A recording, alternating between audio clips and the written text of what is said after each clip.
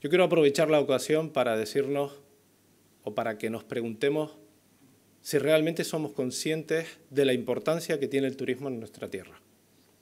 Si estamos dispuestos a darnos un tiro en el pie y si estamos dispuestos a juzgar con las cosas del comer.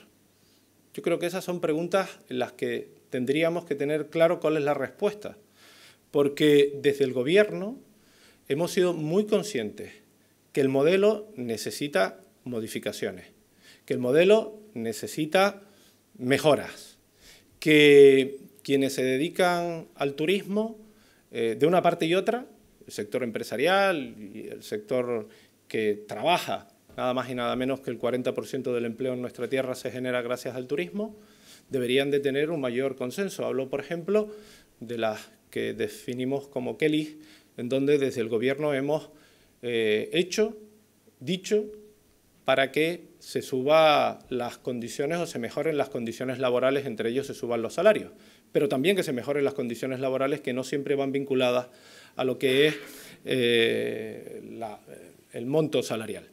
Por lo tanto, ya ahí hemos tenido en consideración una acción pertinente en favor de cohesionar ambas partes.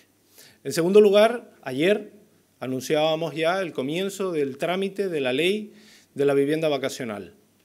Una ley que lo que pretende es regular una actividad que ha venido para quedarse, una actividad que tiene que definirse como empresarial, comercial, económica, y que lógicamente no pueden haber 88 formas de regularla.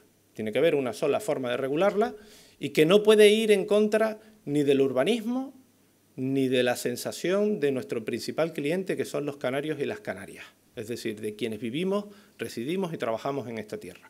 Por lo tanto, ya hemos hecho otra acción desde el Gobierno de Canarias. Tercera de las acciones que hemos llevado a cabo, considerando una situación como esta, es el decreto de vivienda.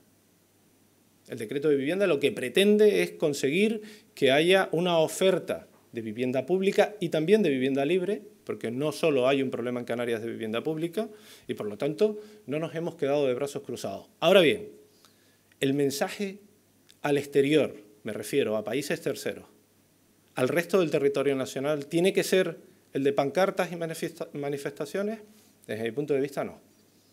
Yo creo en el consenso, creo en el diálogo, creo en las acciones, creo que hay que proteger, cuidar y mimar a nuestro turismo.